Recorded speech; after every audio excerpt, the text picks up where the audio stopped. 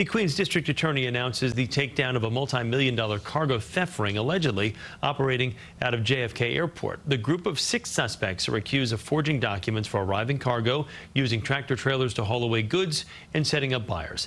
Investigators say the merchandise totaled more than $6 million. So in this case, the defendants allegedly used tractor trailers to haul away several pallets of designer clothes, handbags, sneakers, shoes, sunglasses, and other accessories. The combined take of these two heists is more than $6 million. Three of the six suspects were former airport workers. All of them face charges of grand larceny, conspiracy, and criminal possession of property.